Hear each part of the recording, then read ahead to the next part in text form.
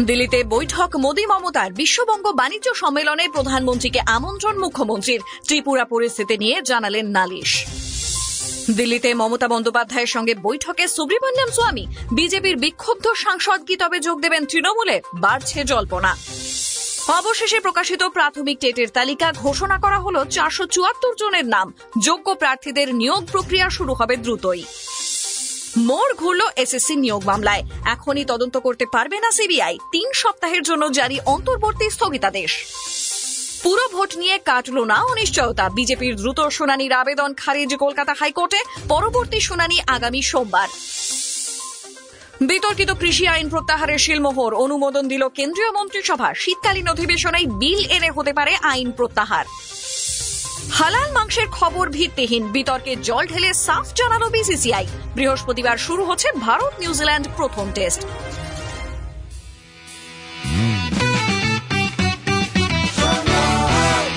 আপনি শুনছেন সংবাদ প্রতিদিন শোনো। নমস্কার রাশি বিস্তারিত খবরে বিশ্ববঙ্গ বাণিজ্য সম্মেলনে প্রধানমন্ত্রী নরেন্দ্র মোদীকে আমন্ত্রণ জানালেন মুখ্যমন্ত্রী মমতা বন্দ্যোপাধ্যায়। বুধবার দিল্লিতে প্রধানমন্ত্রীর সঙ্গে বৈঠক করেন মমতা। বৈঠকের পরে সাংবাদিকদের তিনি জানান, তার ডাকে সাড়া দিয়েছেন প্রধানমন্ত্রী। আগামী বছর নিউ টাউনের বিশ্ব বাংলা কনভেনশন সেন্টারে কুড়ি ও একুশে এপ্রিল হবে এই সম্মেলন। সেখানে আসতে আগ্রহী হয়েছেন প্রধানমন্ত্রী। জানা যাচ্ছে, এদিন প্রায় চল্লিশ মিনিট কথা হয়েছে দুজনের মধ্যে। রাজ্যের বকেয়া অর্থ থেকে বিএসএফ এর ক্ষমতা বৃদ্ধির মতো বেশ কিছু বিষয় নিয়ে দুজনের মধ্যে আলোচনা হয়। বাংলার বকেয়া প্রায় তেষট্টি হাজার কোটি টাকা চাওয়ার পাশাপাশি বিএসএফ এর ক্ষমতা বৃদ্ধির সিদ্ধান্ত প্রত্যাহারের আর্জি জানিয়েছেন বাংলার মুখ্যমন্ত্রী। পরিস্থিতি খতিয়ে দেখে সিদ্ধান্ত নেওয়ার আশ্বাস দিয়েছেন প্রধানমন্ত্রী। কথা হয়েছে করোনা পরিস্থিতি নিয়েও। বারো থেকে আঠেরো বছর বয়সীদের কোভিড টিকা নিয়ে দ্রুত সিদ্ধান্ত নেওয়ার বিষয়টি খতিয়ে দেখারও আর্জি জানিয়েছেন মুখ্যমন্ত্রী। পাশাপাশি ত্রিপুরার অগ্নিগর্ভ পরিস্থিতি নিয়েও কথা হয়েছে। তাদের মধ্যে মুখ্যমন্ত্রী জানান, আমি প্রধানমন্ত্রীকে ত্রিপুরার অশান্তি নিয়ে বলেছি। ত্রিপুরায় এত হিংসা কেন?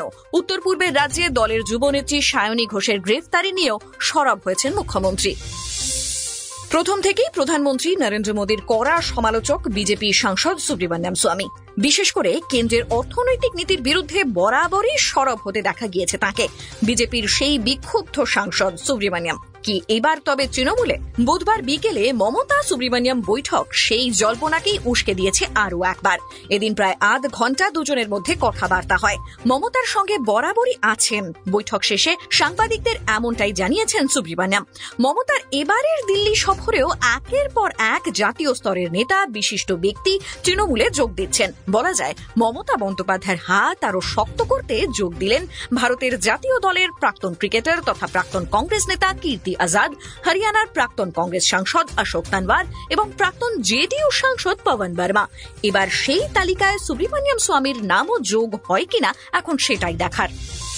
শেষমেশ প্রকাশিত হল প্রাথমিক শিক্ষক নিয়োগের তালিকা। বুধবার যোগ্য প্রার্থীদের একটি চূড়ান্ত তালিকা প্রকাশ করেছে পশ্চিমবঙ্গ প্রাথমিক শিক্ষা বোর্ড। সূত্রের খবর, তাতে চারশো চুয়াত্তর জনের নাম রয়েছে। তালিকায় থাকা প্রার্থীদের দ্রুতই নিয়োগপত্র দেওয়ার কাজ শুরু হবে বলে জানা গেছে। এদিন তালিকা প্রকাশের খবরে স্বভাবতই উচ্ছ্বসিত প্রার্থীরা।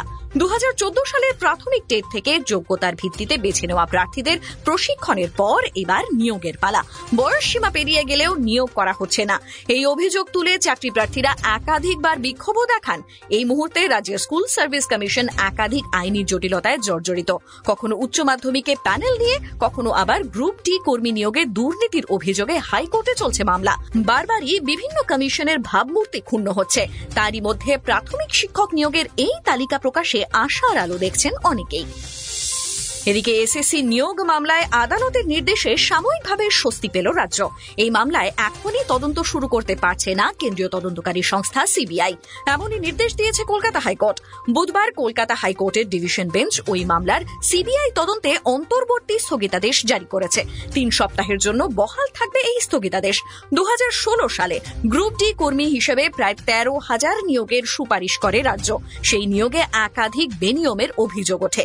গত তেইশে নভেম্বর ডিসেম্বর ওই মামলার তদন্তভার সিবিআই এর হাতে তুলে দেয় কলকাতা হাইকোর্ট। আদালতের এই রায়কে চ্যালেঞ্জ করে ডিভিশন বেঞ্চের দ্বারস্থ হয়েছিল রাজ্য।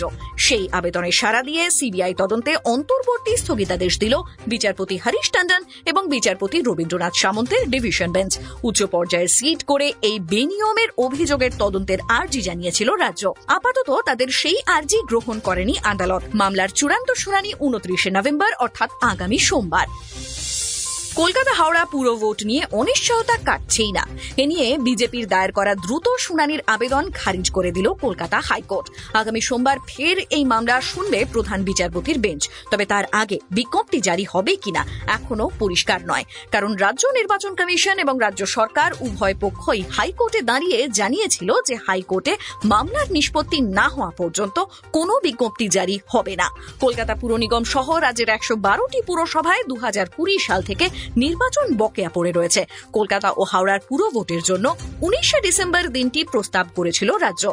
বুধবার মামলাটি হাইকোর্টে প্রধান বিচারপতির এজলাসে ওঠে। সেখানে বিচারপতির দৃষ্টি আকর্ষণ করে বিজেপির আইনজীবীরা আবেদন করেন, এটি গুরুত্বপূর্ণ মামলা। এর ওপর নির্ভর করছে পুরো ভোটের ভবিষ্যৎ। তাই মামলার দ্রুত শুনানি হোক। কিন্তু বিচারপতিরা সেই আর্জি খারিজ করে দিয়ে জানান যে সোমবারই হবে মামলা শুনানি। কলকাতা ও হাওড়ার পুরো ভোট নিয়ে সিদ্ধান্তে অনিশ্চয়তা আপাতত তাই থেকেই গেল। ろ。বিতর্কিত কৃষি আইন প্রত্যাহারের অনুমোদন দিল কেন্দ্রীয় মন্ত্রিসভা। শীতকালীন অধিবেশনে আইন প্রত্যাহার করা হতে পারে। উনিশে নভেম্বর, অর্থাৎ গত শুক্রবার, কৃষি আইন প্রত্যাহারের কথা ঘোষণা করেছিলেন প্রধানমন্ত্রী নরেন্দ্র মোদী। বিশেষজ্ঞ মহল বলেছিল, নিয়ম মেনে শীতকালীন অধিবেশনে বিল এনে প্রত্যাহার হতে পারে এই আইন। এদিন তারই প্রথম ধাপ সেরে ফেললেন প্রধানমন্ত্রী। কেন্দ্রীয় মন্ত্রিসভার বৈঠকে বিল প্রত্যাহারের অনুমোদন মিলল। গত বছরের ডিসেম্বরে তিনটি কৃষি বিল সংশোধন করে আইনে পরিণত করে কেন্দ্রীয় সরকার। এরপর থেকেই দেশ জুড়ে বিতর্ক ও বিক্ষোভ শুরু হয়। বিশেষ করে দিল্লি, পাঞ্জাব, হরিয়ানা, উত্তরপ্রদেশ, রাজস্থানে তুমুল প্রতিবাদ ও বিক্ষোভ শুরু করেন সেখানকার কৃষকেরা। দু সালের আঠাশে নভেম্বর থেকে দিল্লি সীমান্তে সংগঠিত আন্দোলন শুরু করেন পাঞ্জাব, হরিয়ানা, উত্তরপ্রদেশের হাজার হাজার কৃষক। আন্দোলনের নেতৃত্ব দেয় অনেকগুলি কৃষক সংগঠন। আন্দোলন চলাকালীন মৃত্যু হয় বেশ কয়েকজন কৃষকের। অবশেষে সেই আইন প্রত্যাহারের সিদ্ধান্তে শিলমোহর পড়ল। কেন্দ্রের এই পদক্ষেপে স্বাভাবিকভাবেই খুশি কৃষকেরা। তবে ন্যূনতম সহায়ক মূল্যের দাবিতে আন্দোলন চলবে বলেই জানিয়েছেন কৃষক নেতা হান্নান মোল্লা। ভারতীয় ক্রিকেটারদের মেনুতে হালাল মাংস। এ নিয়ে বিতর্কে জেরবার ভারতীয় ক্রিকেট। সোশ্যাল মিডিয়ায় তীব্র কটাক্ষের মুখে পড়েছে ভারতীয় ক্রিকেট কন্ট্রোল বোর্ড। তারই মধ্যে বৃহস্পতিবার থেকে শুরু হচ্ছে ভারত ও নিউজিল্যান্ডের প্রথম টেস্ট ম্যাচ। এই পরিস্থিতিতে বুধবার এ প্রসঙ্গে মুখ খুলল ভারতীয় ক্রিকেট কন্ট্রোল বোর্ড। বিসিসিআই বোর্ডের কোষাধ্যক্ষ অরুণ ধুমাল এদিন জানিয়েছেন, বোর্ডের তরফ থেকে এমন ধরনের কোনো খাদ্য তালিকার কথা জানানো হয়নি ক্রিকেটারদের। টি টোয়েন্টি বিশ্বকাপের পরেই এদেশে টি টোয়েন্টি ও টেস্ট সিরিজ খেলতে এসেছে নিউজিল্যান্ড বৃহস্পতিবার থেকে শুরু হচ্ছে টেস্ট ম্যাচ। আর তার আগেই খবর ছড়িয়ে পড়ে, ভারতীয় ক্রিকেটারেরা কখন কি খাওয়া দাওয়া করবেন, সেই মেনুও ঠিক করে ফেলা হয়েছে। Mini breakfast, lunch tea time snacks এবং ডিনারের মেনুও ঠিক করে ফেলা হয়েছে। সেই মেনুতে রাখা হয়নি শুকরের মাংস বা পর্ক এবং গো মাংস বা বিফ। তবে উল্লেখ রয়েছে হালাল মাংসের। আর সেখানেই যত বিতর্কের সূত্রপাত। অনেকেই প্রশ্ন তুলেছেন যে দলে হিন্দু মুসলিম নির্বিশেষে প্রত্যেকে খেলেন, সেখানে কেন হালাল মাংস রাখা হচ্ছে? ধর্মের নামে এভাবে বিভেদ সৃষ্টি করা উচিত নয় বলেও মত অনেকের। তবে এদিন বিসিসিআই এর তরফে সাফ জানিয়ে দেওয়া হয়েছে, যা রটেছে তা আদৌ ঠিক নয়। শুনতে থাকুন। সংবাদ প্রতিদিন শোনো।